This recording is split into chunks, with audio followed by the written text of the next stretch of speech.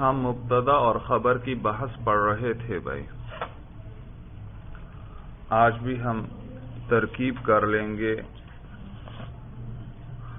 آپ نے پڑھا کہ جملہ اسمیہ جو ہے اس میں دو چیزیں ہوتی ہیں، ایک مبتدا اور ایک خبر۔ یعنی جتنے بھی لفظ آئیں جملہ اسمیہ کے اندر مل ملا کر بالآخر دو چیزیں آخر میں بنیں گی ایک مبتدا اور ایک خبر۔ جی اور آپ نے پڑھا کہ مبتدا بھی مرفو ہوتا ہے اور خبر بھی مرفو ہوتی ہے۔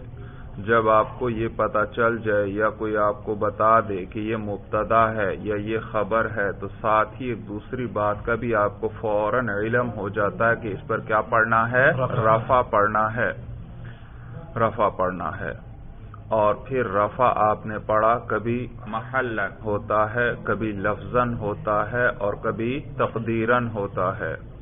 محل رفع جو ہے وہ مبنی کے اندر آتا ہے۔ اور لفظ اور تقدیرن جو ہے وہ معرب کے اندر آتا ہے۔ اور کس معرب میں لفظ آئے گا اور کس میں تقدیرن آئے گا وہ نحمیر کی سولہ قسمیں آپ کو یاد ہونی چاہیے۔ یا یہ جو ہدایت النح میں انہوں نے نو قسمیں آپ کو گنوائیں ان سولہ کو سمیٹ کر کتنی قسمیں بنا دیا؟ نو۔ قسمیں بنا دیا عراب کے اعتبار سے تو یہ آپ کو ہر وقت ذہن میں ہوں گی تو آپ کو فوراً پتہ چل جائے گا کہ اس اسم پر جو کہ معرب ہے لفظ رفع آئے گا یا تقدیرن آئے گا۔ اور لفظ رفع کا کیا معنی ہے؟ کہ اس کے رفع پر ہم باقاعدہ کیا کرتے ہیں؟ تلفظ یعنی سننے سے ہی دوسرے کو پتا چل جاتا ہے کہ اس وقت اس پر رفع پڑا جا رہا ہے، یا نصب ہے، یا جر ہے بھائی۔ تو اس طرح کا جو اعراب ہو، جس تلفظ باقاعدہ اعراب پر ہو، اسے اعراب لفظی کہتے ہیں۔ اگر مبنی ہو تو اس کا اعراب کیسے بتاتے ہیں؟ محل کیونکہ مبری کے پر اعراب ظاہر نہیں ہوتا، اس کی جو آخر میں جو حرکت ہے، وہ مبنی کی حرکت کہلائے گی، اس کو اعراب نہیں کہتے اور وہ بدلتی نہیں ہے۔ لیکن وہاں پر پھر کیسے بتلاتے ہیں کہ یہ مرفو ہے محلن، یا منصوب ہے محلن، یا مجرور ہے محلن۔ محل یعنی جگہ جگہ۔ یعنی جگہ کے اعتبار سے یہ مرفو ہے۔ یہ جگہ تو رفع والی ہے، لیکن یہ مبنی ہے، اس لیے اس پر اعراب ظاہر نہیں ہو رہا۔ محلن کا معنی سمجھ میں آیا بھائی؟ اور پھر آپ نے یہ بھی پڑھا کہ مبتدا کے اندر اصل یہ ہے کہ معرفہ ہو اور خبر کے اندر اصل یہ ہے کہ وہ نکیرہ ہو۔ اور یہ بھی آپ نے پڑھا کہ مبتدا کے اندر اصل یہ ہے کہ وہ مقدم ہوگا اور خبر کے اندر اصل یہ ہے کہ وہ مؤخر ہوگی بھائی، مؤخر ہوگی۔ تو جب آپ نے پڑھ لیا کہ مبتدا کے اندر اصل معرفہ ہونا ہے اور خبر کے اندر نکرہ ہونا، تو اب آپ کو معرفہ کی پہچان ہونی چاہیے بھائی۔ اور وہ یقیناً آپ کو یاد ہوگی کئی دفعہ ہم تکرار کر چکے ہیں کہ معرفہ جو ہیں، کتنے ہیں؟ سات ہیں، نمبر ایک کیا ہیں؟ تمام ضمیریں ہیں اور اسی طرح اسماء اشارہ ہیں اور اسماء موصولہ ہیں اور علم ہے اور معرف اللام ہے اور ان میں سے کسی ایک کی طرف مضاف ہو اور اسی طرح معرفہ با ندا ہے بھائی۔ اور نیز یہ آپ نے اعراب کے بارے میں بھی پڑھ لیا کہ اعراب کبھی محل آتا ہے، کبھی لفظ اور تقدیات اور کبھی تقدیرن آتا ہے۔ اور محل جو ہے مبنی کے اندر آتا ہے، جبکہ لفظ اور تقدیرن معرب کے اندر۔ تو لہذا اب آپ کو مبنی کی بھی پہچان ہونی چاہیے بھائی۔ مبنیات تو آگے چل کر صاحب ہدایت نہ ہو آپ کو بتائیں گے۔ کہ سات آٹھ ہیں، لیکن تین جو عام استعمال ہوتے ہیں، وہ ہر وقت آپ کے ذہن میں ہونے چاہیے اور وہ کون کون سے ہیں؟ تمام ضمیریں ہیں، اسماء اشارہ ہیں اور اسماء موصولہ ہیں۔ بھائی یہ تین تو ہر وقت آپ کے ذہن میں ہونے چاہیے تو لہذا ضمیر آ جائے یا اس میں اشارہ آ جائے یا اس میں موصول آ جائے تو اس پر جو بھی اعراب آپ نے بتانا ہے، ہمیشہ محل بتانا ہے، اس کے اندر کوئی تبدیلی نہیں آئے گی بھائی۔ اور پھر آپ نے ایک دو ترکیبیں بھی کی تھیں۔ پہلی ترکیب کیا تھی؟ اللہ احد لفظ اللہ مرفوع لفظان مبتدا۔ احد مرفوع لفظان خبر۔ اعراب آپ نے ہر ہر لفظ کا بتانا ہے بھائی۔ اور مبتدا خبر مل کر جملہ اسمیہ خبریہ ہوا۔ اللہ پھر اس کو روانی سے پڑھیں گے۔ جملے کو جب ایک ایک لفظ کا اعراب ہم حل کر لیں پھر اسے روانی سے پڑھیں گے تو کیا بنا؟ اللہ۔ احد اللہ ایک ہے اللہ یکتا ہے۔ اب یاد رکھیے ترکیب کو تھوڑا بڑھاتے ہیں بھائی۔ اب ساتھ موصوف صفت کی ترکیب بھی شامل کر لیتے ہیں۔ آپ نے پڑھا ہے کہ جو اعراب موصوف پر آتا ہے، وہی اعراب صفت پر بھی آتا ہے۔ موصوف اگر مرفوع ہو تو صفت بھی مرفوع ہوتی ہے۔ موصوف اگر منصوب ہو تو صفت بھی منصوب ہوتی ہے۔ اور موصوف اگر مجرور ہو تو صفت بھی مجرور ہوتی ہے۔ لیکن یہ یاد رکھنا کہ موصوف پر اگر موصوف اور صفت مثلا دونوں پر رفع ہے۔ تو مرفو تو دونوں ہوں گے، لیکن یہ ضروری نہیں کہ ایک پر رفع لفظن ہے تو دوسرے پر بھی رفع لفظن آئے۔ یا ایک پر رفع محلن ہے تو دوسرے پر بھی رفع محلن یہ نہیں ضروری۔ آئے گا رفع ہی دونوں پر لیکن رفع ہر لفظ کے مطابق آئے گا۔ اگر وہ مبنی ہوا تو پھر اس پر رفع کس طرح کا آئے گا؟ محلن. اور صفت اگر معرب ہوئی تو اس پر پھر رفع لفظن یا تقدیرن آئے گا. ہاں دونوں پر آئے گا رفع یعنی اعراب ایک جیسا ہی ہوگا بھائی. جب موصوف مرفوع ہے تو صفت بھی مرفوع آئے گی. تو موصوف صفت کی ترکیب بھی آج ساتھ شامل کر لیتے ہیں بھائی. بھائی، یاد رکھیے ضابطہ کہ ایک معرفہ کے بعد اگر پھر کوئی معرفہ آ جائے، چاہے ایک آئے، دو آئیں تین آئیں چار آئیں تو یہ سارے آپس میں موصوف صفت بنیں گے۔ پہلے کو موصوف بنائیں گے اور باقیوں کو اس کی صفت بنا لیں گے بھائی۔ کیا ضابطہ ہوا؟ اگر کئی معرفہ اکٹھے آ جائیں، تو پہلے کو کیا بناؤ؟ موصوف اور باقیوں کو صفت بنائیں۔ اسی طرح یاد رکھیے، اگر کئی نکیرہ اکٹھے آ جائیں، چاہے دو ہوں، تین ہوں، چار ہوں، پانچ ہوں۔ تو پہلے کو عموماً کیا بنائیں گے؟ موصوف، اور باقی نکیرہ اس کی صفت بنیں گے۔ بشرتے کے آخری نکیرہ کے بعد کوئی معرفہ نہ آئے۔ کئی نکیرہ اکٹھے آ جائیں تو پہلے کو کیا بنائیں گے؟ موصوف۔ اور باقیوں کو صفت۔ بشرتے کے جو آخری نکیرہ آ رہا ہے اس کے بعد کوئی معرفہ نہ آئے۔ یعنی ضمیر اس میں اشارہ اس میں موصول وغیرہ ان میں سے کوئی نہ آئے۔ اگر آخری نکیرہ کے بعد کوئی معرفہ آ گیا پھر عموماً وہ مضاف مضافلے بنیں گے سارے آپس میں۔ موصوف صفت نہیں بنیں گے بھائی۔ ضابطہ سمجھ میں آیا؟ جی، جی۔ کیا ضابطہ ہوا؟ کر کئی معرفہ اکٹھے آئے تو وہ آپس میں موصوف صفت، اور کئی نکیرہ اکٹھے آئے تو وہ بھی موصوف صفت بشرتے کہ آخری نکیرہ کے بعد کوئی معرفہ نہ آئے۔ اگر کوئی معرفہ آخر میں آ گیا تو پھر یہ آپس میں کیا بنیں گے؟ مضاف، مضافی بنیں گے بھائی، مضاف، مضافی اور پھر موصوف صفت کا ترجمہ کیسے کرنا ہے؟ یاد رکھیے ترجمہ موصوف صفت کا۔ موصوف صفت کا ترجمہ ایسا کرنا ہے کہ پورا جملہ نہیں ہے وہ، تو اس کے مطابق ہی ترجمہ ہوگا بھائی۔ مثلا میں کہتا ہوں الرجل العالم الرجل العالم تو دیکھو، الرجل معرفہ ہے، اس پر الفلام داخل۔ العالم پر بھی کیا داخل؟ الفلام وہ بھی معرفہ۔ اور ہم نے ضابطہ پڑھا ہے کہ دو معرفہ اکٹھے ہیں تو عموماً وہ کیا ہوں گے؟ محسوس صفت۔ ہاں ایک اور بات یاد رکھنا، یہ جتنے ضابطے ترکیب کے میں بیان کروں گا، یہ کلی نہیں ہے ہر جگہ ایسا ہی نہیں ہوگا۔ بعض اوقات وہ دو معرفہ اکٹھے آئے ہیں، وہ مبتدا خبر بھی ہو سکتے ہیں۔ ایک مبتدا ہوگا اور دوسرا کیا ہوگی؟ خبر ہوگی۔ لیکن یہ جو ضابطے میں ذکر کر رہا ہوں اس سے آپ کی اکثر مثالیں حل ہو جائیں گی۔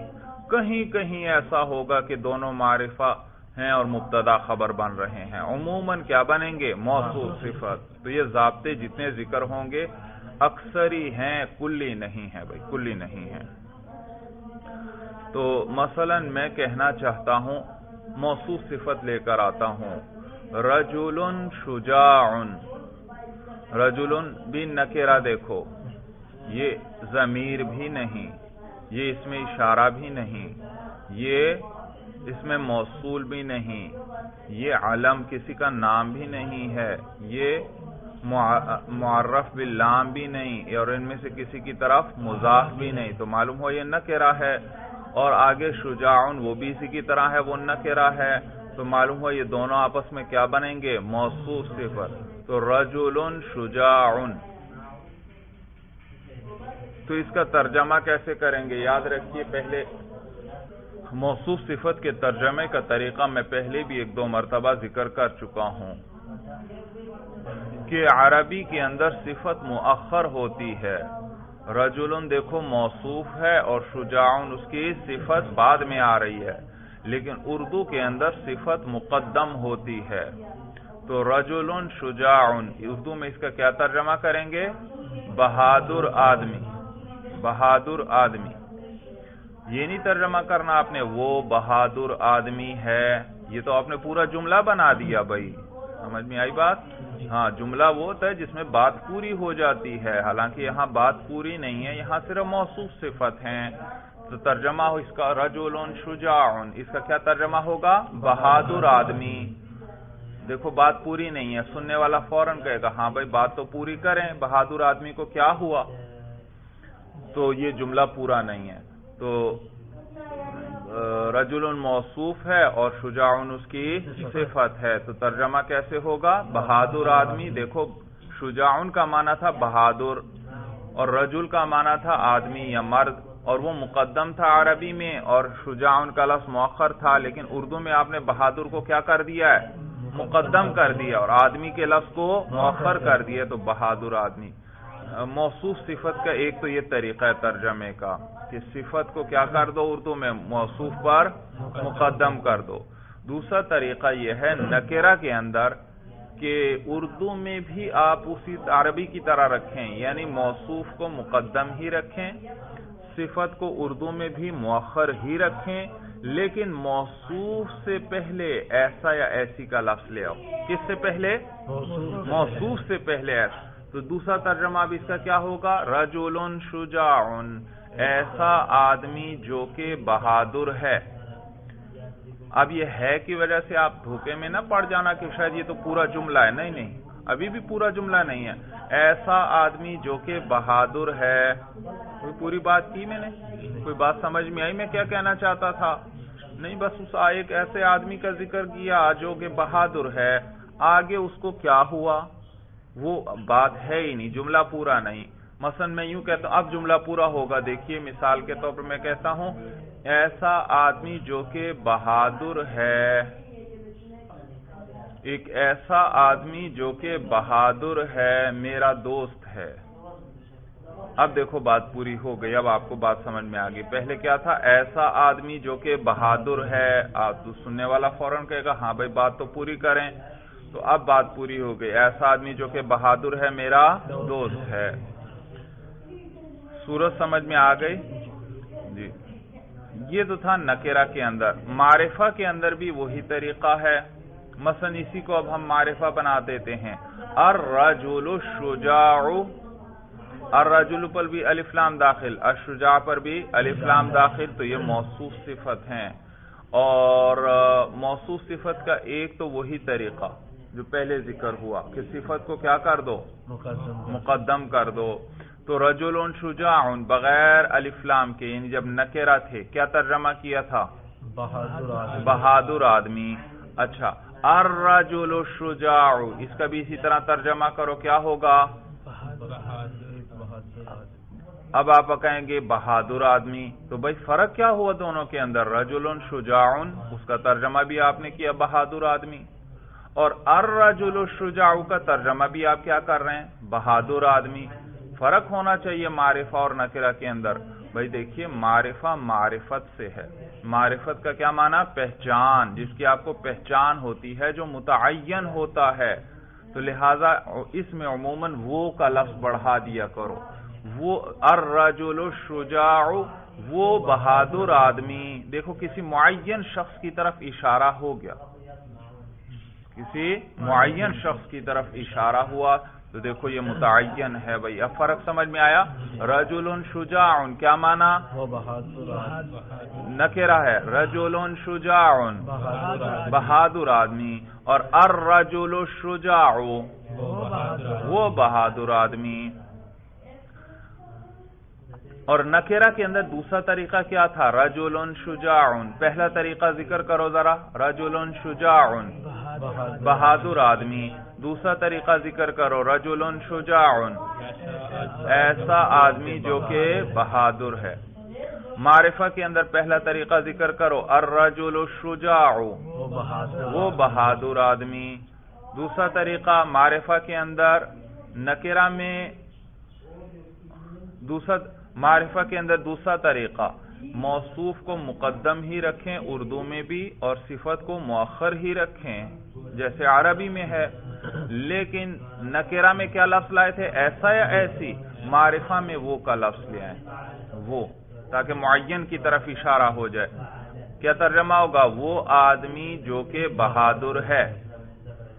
اب آئے گا پورا، اب دیکھو، بات یہاں پوری نہیں ہے۔ ہے کی وجہ سے پھر یہ دھوکے میں آپ نہ پڑھنا گئے تو شاید پورا جملہ ہے۔ نہیں بھائی، پوری بات کہاں ہے یہاں؟ وہ آدمی جو کہ بہادر ہے، سننے والا فوراً کہے گا ہاں کیا ہوا اس کو؟ آپ بات تو پوری کریں۔ تو آپ پھر کہیں گے، میرا ساتھی ہے۔ وہ آدمی جو کہ بہادر ہے، میرا ساتھی ہے۔ اب بات پوری ہو گئی۔ طریقہ سمجھ میں آیا؟ جی۔ اردو میں کیا کرتے ہیں؟ صفت کو مقدم کرتے ہیں۔ اور دوسرا طریقہ کیا ہے؟ نکرہ کے اندر موصوف سے پہلے کیا لے آؤ؟ ایسا یا ایسے۔ اور معرفہ کے اندر کیا لفظ لے آؤ؟ وہ کا لفظ لے آئے۔ اچھی طرح بات سمجھ میں آ گئی۔ جی اب ہم ترکیبیں کچھ کر لیتے ہیں، لیکن ایک اور ضابطہ بھی یاد رکھ لینا۔ یاد رکھو، جس اسم کے ساتھ بھی ضمیر متصل آ جائے۔ تو وہ آپس میں مضاف مضافلے بنیں گے۔ کیا ضابطہ ہوا؟ جس اسم کے ساتھ بھی ضمیر متصل آ جائے، کوئی ضمیر جڑی ہوئی آ جائے، تو وہ دونوں آپس میں کیا بنیں گے؟ مضاف مضافلے بنیں گے بھائی۔ فیل کی بات نہیں کر رہا فیل کے ساتھ تو جڑی ہوئی ضمیر آتی ہے، وہ فائل کی ہوتی ہے۔ اسی طرح فیل کے ساتھ جڑی ہوئی ضمیر آتی ہے، وہ مفعول کی بھی ہوتی ہے۔ تو اسم کے ساتھ جب بھی ضمیر متصل آ جائے تو وہ آپس میں کیا کیا آپس میں کیا بنیں گے؟ مضاف اور مضافلے بنیں گے۔ اور مضاف مضافلے کا ترجمہ آتا ہے یا نہیں آتا؟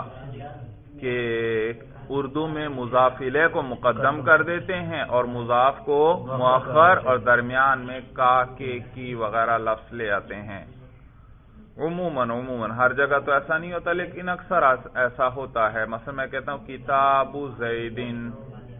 یہ آپس میں مزاح مضافی لیں کہ تو کیا ترجمہ ہوگا؟ کتاب زیدن۔ زید کی کتاب۔ دیکھو، زید مضافی لے تھا، اس کو آپ نے اردو میں مقدم کر دیا، اور کتاب مضاف تھا، اس کو مؤخر کر دیا، اور درمیان میں کی کا لفظ بڑھا دیا، زید کی کتاب۔ طریقہ سمجھ میں آ گیا؟ اچھا اب کچھ ترکیبیں کیجیے لکھیے بھائی۔ السلطان السلطان عادل عادل۔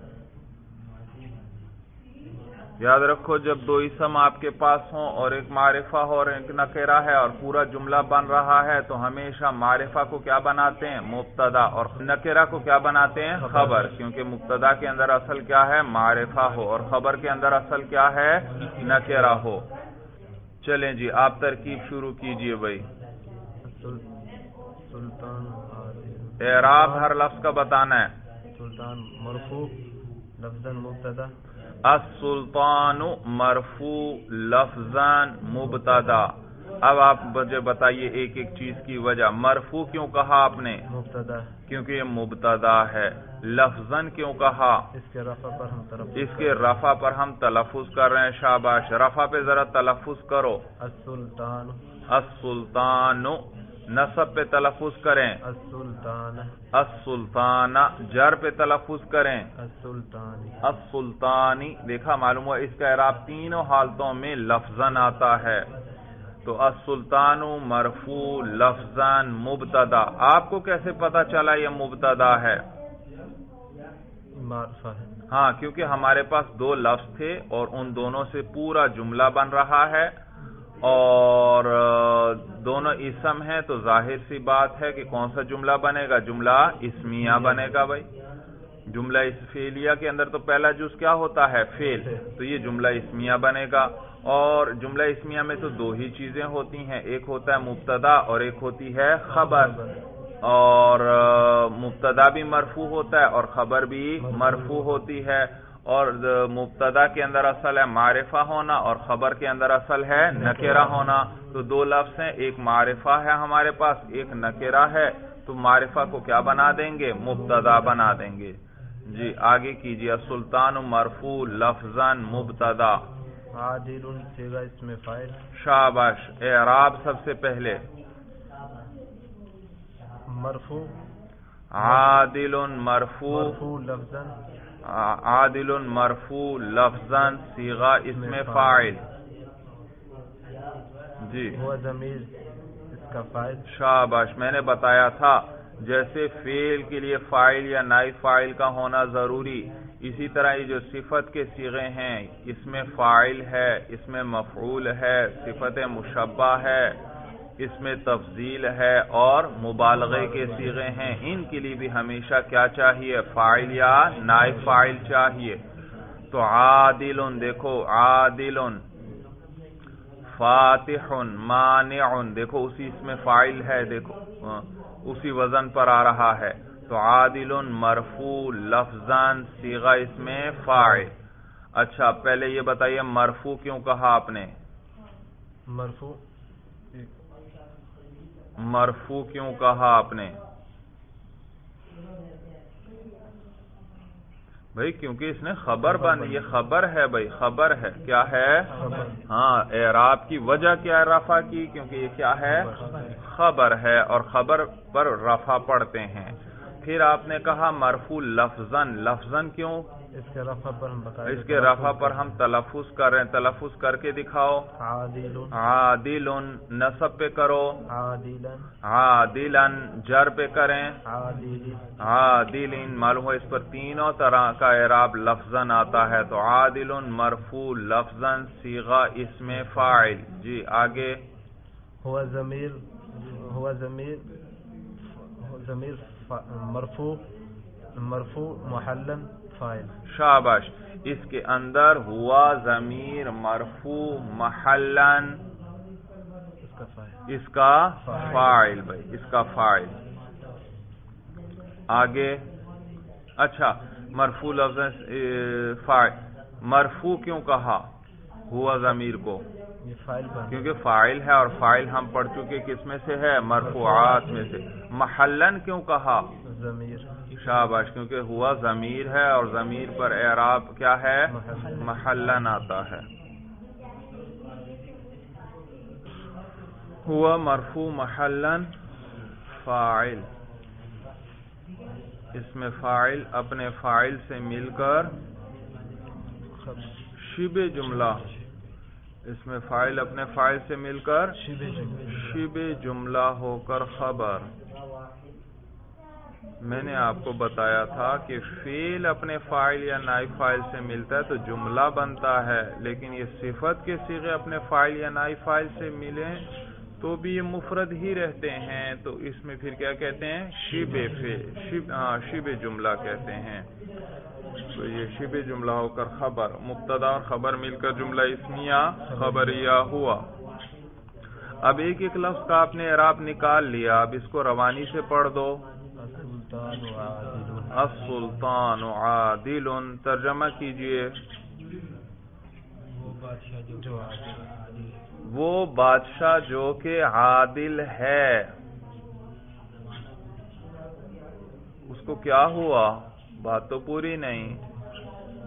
وہ بادشاہ جو کہ عادل ہے. یہ تو آپ نے موصوف صفت والا ترجمہ کیا. اور ترکیب آپ نے کوئی موصوف صفت بنائے یہاں پر؟ کوئی موصوف تھا؟ آگے اس کی صفت آئی۔ آپ نے تو ایک کو بنایا مبتدا، دوسرے کو کیا بنایا؟ خبر۔ اور ترجمہ آپ کون سا کر رہے ہیں؟ موصوف صفت نہیں، مبتدا خبر والا ترجمہ کرو۔ بادشاہ عادل ہے۔ بادشاہ عادل ہے۔ عادل ہے دیکھو، بات پوری ہو گئی کہ نہیں؟ اور اگر آپ کہیں وہ بادشاہ جو کہ عادل ہے دوسرا کہے گا ہاں اس کو کیا ہوا؟ بات تو پوری کریں۔ لیکن آپ نے کیا کہا؟ بادشاہ بادشاہ عادل ہے بات پوری ہو گئی۔ صورت سمجھ میں آ گئی۔ لیکن ابھی بھی ایک کمی ہے۔ آپ نے ترجمہ کیا بادشاہ عادل ہے۔ حالانکہ السلطان الاسلام آیا۔ اور الاسلام کسی لفظ پہ داخل ہو، اسے کیا بنا دیتا ہے؟ معرفہ۔ اور معرفہ کسے کہتے ہیں؟ جو کسی معین ذات پہ دلالت کرتا ہے، جس کی پہچان ہوتی ہے دوسرا۔ تو اس کا ترجمہ پھر وہ ساتھ ملائیں گے۔ وہ بادشاہ، کسی معین بادشاہ کی طرف اشارہ ہوا، وہ بادشاہ عادل ہے۔ سورج سمجھ میں آ گئی بھائی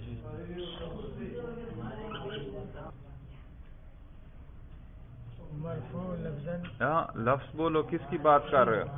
الجبل۔ ہاں الجبل۔ مرفوع لفظاً۔ مرفوع لفظان مبتدا۔ مرفوع کیوں کہا؟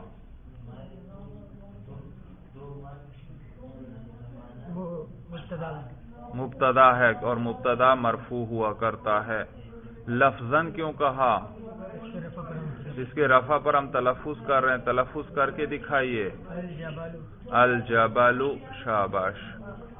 تو یہ مرفوع لفظ مبتدا۔ آپ کو کیسے پتا چلا یہ مبتدا ہے؟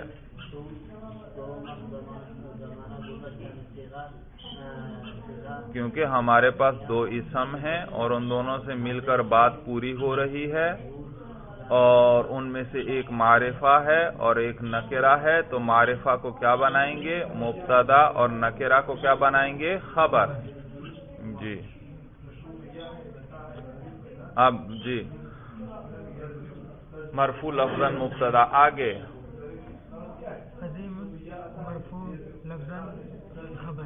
عظیم مرفوع لفظاً خبر۔ مرفوع کیوں؟ خبر شاباش خبر پر رفع آتا ہے۔